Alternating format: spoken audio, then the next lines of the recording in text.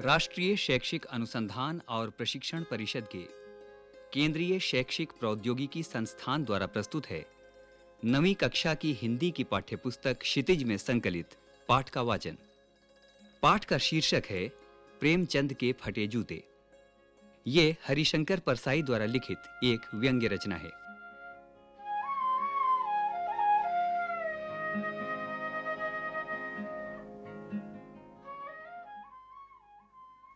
मित्रों, आइए जानें कि पाठ को सुनने से पहले हमें किन बातों का ध्यान रखना चाहिए। पाठ को सुनने से पहले अध्यापक को पाठ विशेष की जानकारी देनी चाहिए। अध्यापक को यह भी बताना चाहिए कि प्रस्तुत पाठ को सुनाने का उद्देश्य विद्यार्थियों के श्रवण कौशल का विकास करना भी है। पाठ को सुनते समय श्रोता कलाकार के प्रस्तुतिकरण पर विशेष ध्यान दें और प्रस्तुति की बारीकियों को समझें।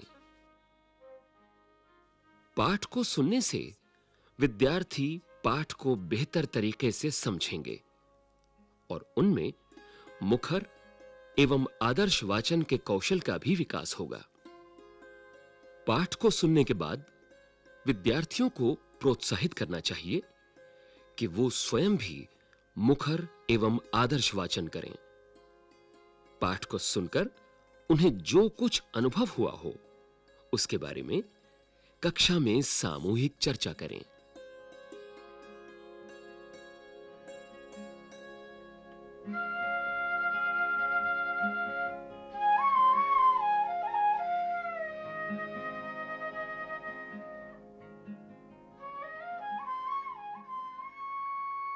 हिंदी के व्यंग लेखकों में हरिशंकर परसाई का नाम अग्रणी है।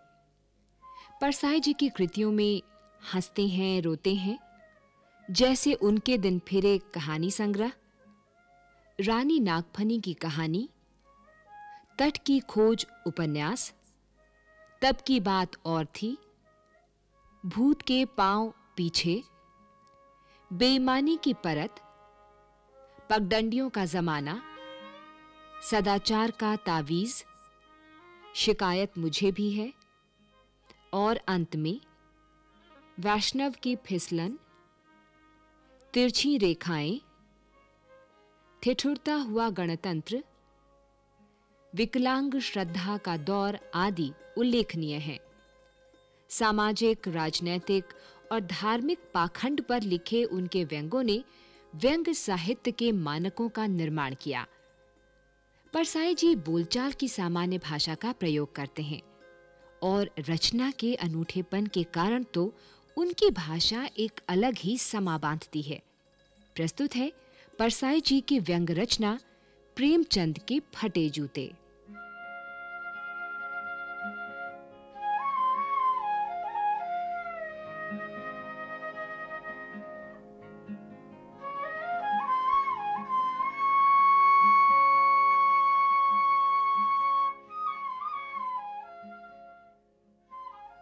प्रेमचंद का एक चित्र मेरे सामने है।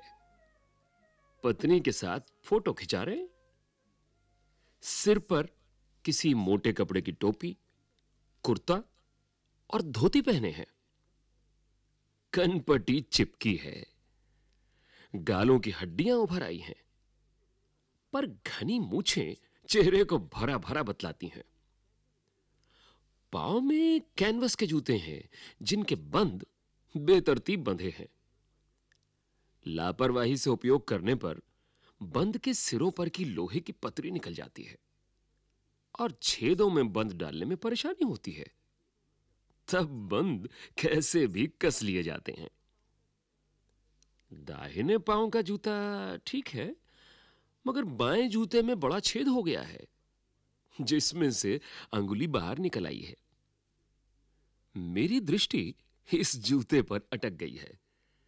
सोचता हूँ फ़ोटो खिंचाने की अगर यह पोशाक है तो पहनने की कैसी होगी? नहीं, इस आदमी की अलग-अलग पोशाकें नहीं होंगी। इसमें पोशाकें बदलने का गुण नहीं है।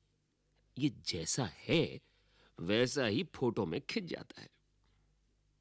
मैं चेहरे की तरफ़ देखता हूँ क्या तुम्हें मालूम है मेरे साहित्यिक पुरखे, कि तुम्हारा जूता फट गया है और अंगुली बाहर दिख रही है? क्या तुम्हें इसका जरा भी एहसास नहीं है? जरा लज्जा, संकोच या झेप नहीं है?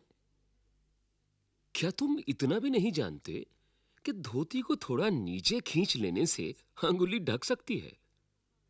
मगर फिर भी तुम्हारे चेहरे पर बड़ी बेपरवाही बड़ा विश्वास है। फोटोग्राफर ने जब रेडी प्लीज़ कहा होगा, तब परंपरा के अनुसार तुमने मुस्कान लाने की कोशिश की होगी।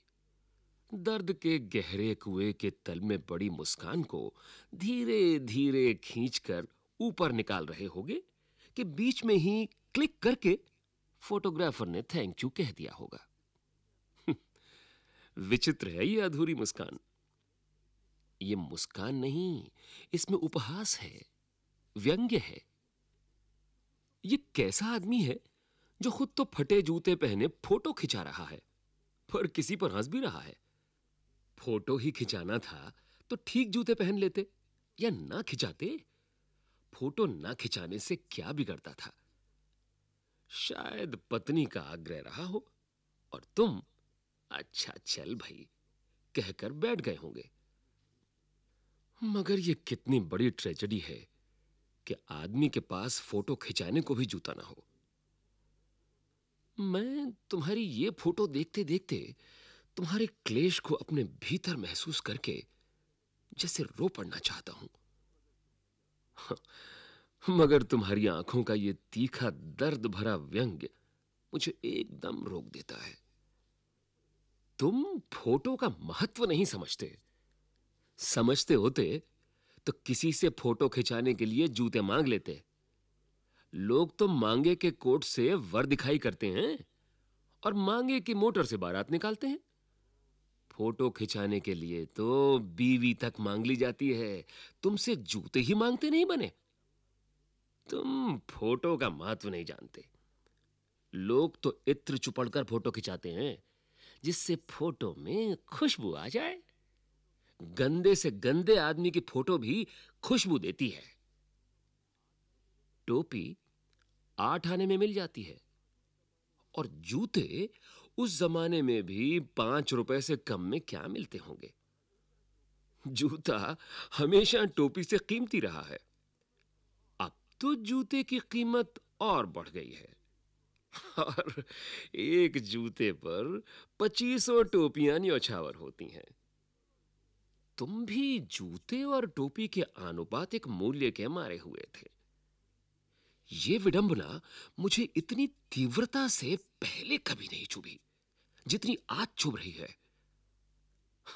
जब मैं तुम्हारा फटा जूता देख रहा हूँ। तुम महान कथाकार, उपन्यास सम्राट, युग प्रवर्तक, जाने क्या क्या कहलाते थे। मगर फ़ोटो में भी तुम्हारा जूता फटा हुआ है। मेरा जूता भी कोई अच्छा नहीं है। यो ऊपर से अच्छा दिखता है। अंगुली बाहर नहीं निकलती। पर अंगूठे के नीचे तला फट गया है। अंगूठा ज़मीन से घिसता है और पैनी मिट्टी पर कभी रगड़ खाकर लहूलुहान भी हो जाता है। पूरा तला गिर जाएगा। पूरा पंजा छिल जाएगा, मगर अंगुली बाहर नहीं दिखेगी। तुम्हारी अंगुली दिखती है, पर पाँव सुरक्षित है। मेरी अंगुली ढकी है, पर पंजा नीचे घिस रहा है। तुम पर्दे का महत्व नहीं जानते। हम पर्दे पर कुर्बान हो रहे हैं।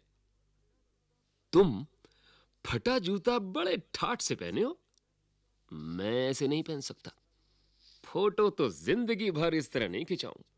चाहे कोई जीवनी बिना फ़ोटो के ही छाप दे। तुम्हारी ये व्यंग्य मुस्कान मेरे हौसले पस्त कर देती है। क्या मतलब है इसका? कौन सी मुस्कान है ये? क्या होरी का गोदान हो गया? क्या पूस की रात में नील गाय हल्कू का खेत चर गई? क्या सुजान भगत का लड़का मर गया क्योंकि डॉक्टर क्लब छोड़कर नहीं आ सकते? नहीं। मुझे लगता है माधो औरत के कफन के चंदे की शराब पी गया। हम्म, वही मुस्कान मालूम होती है। मैं तुम्हारा जूता फिर देखता हूँ। कैसे फट गया ये मेरी जनता के लेखक? क्या बहुत चक्कर काटते रहे? क्या बनिया के तगादे से बचने के लिए मील दो मील का चक्कर लगाकर घर लौटते रहे? चक्कर लगाने से जूता फटता नहीं है, घिस जाता है। कुंभन दास का जूता भी फतेहपुर सीकरी आने जाने में घिस गया था। उसे बड़ा पछतावा हुआ।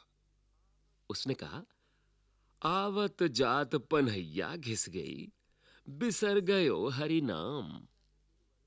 और ऐसे बुलाकर देने वालों के लिए कहा था, जिनके देखे दुख उपजत है, तिनको करबो परे सलाम। चलने से जूता घिसता है, फटता नहीं। तुम्हारा जूता कैसे फट गया? मुझे लगता है तुम किसी सख्त चीज़ को ठोकर मारते रहे हो। कोई चीज़ जो परत पर परत सदियों से जम गई है, उसे शायद तुमने ठोकर मार मार कर अपना जूता फाड़ लिया। कोई टीला जो रास्ते पर खड़ा हो गया था, उस पर तुमने अपना जूता आजमाया। तुम उससे बचाकर उसके बगल से भी तो निकल सकते थे। टीलों से समझौता भी तो हो जाता है। सभी नदियाँ पहाड़ थोड़े ही फोड़ती हैं। कोई रास्ता बदल कर घूमकर भी तो चली जाती है। तुम समझौता कर नहीं सके। क्या तुम्हारी भी वही कमज़ोरी थी, जो होरी को ले डूबी? वही नेम धर्म वाली कमज़ोरी। नेम धर्म उसकी भी जंजीर थी। मगर तुम जिस तरह मुस्कुरा रहे हो, उससे लगता है कि शायद नेम धर्म तुम्हारा बंधन नहीं था, तुम्हारी मुक्ति थी। तुम्हारी ये पाँव की अंगुली मुझे संकेत करती सी लगती है। जिसे तुम घृणित समझते हो, उसकी तरफ़ हाथ की नहीं, पाँव की उंगली से इशारा करते हो। क्या तुम उसकी तरफ़ इशारा कर रहे हो, जिसे ठोकर मारते मारते तुमने जूता फाड़ लिया? मैं समझता हूँ। तुम्हारी अंगुली का इशारा भी समझता हूँ, और यह व्यंग्य मुस्कान भी समझता हूँ। तुम मुझ पर या हम सभी पर हंस रहे हो? उन पर जो अंगुली छिपाए और तलुआ घिसाए चल रहे हैं। उन पर जो टीले को बरकाकर बाजू से निकल रहे हैं। तुम कह रहे हो, मैंने तो ठोकर मार मार कर जूता फाड़ लिया। अंगुली बाहर निकल आई, पर पाँव बच रहा और मैं चलता रहा। मगर तुम अंगुली को ढांकने की चिंता में तलुए का नाश कर रहे हो। तुम चलोगे कैसे? मैं समझता हूँ। मैं तुम्हारे फटे जूते की बात समझता हूँ। अंगुली का इशारा समझता हूँ। तुम्हारी व्यंग्य मुस्कान समझता हूँ।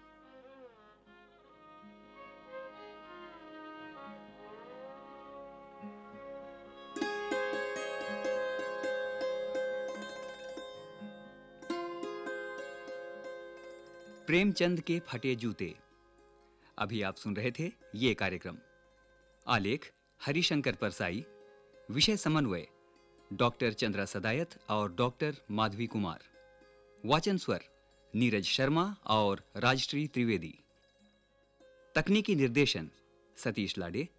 निर्माण सहयोग दाऊ दयाल चतुर्वेदी तथा निर्माण एवं प्रस्तुति अजीत होरो।